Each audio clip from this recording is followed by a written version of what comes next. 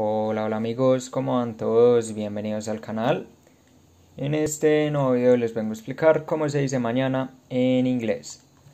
Presta mucha atención ya que vamos a repetir la palabra varias veces así aprendes cómo se dice.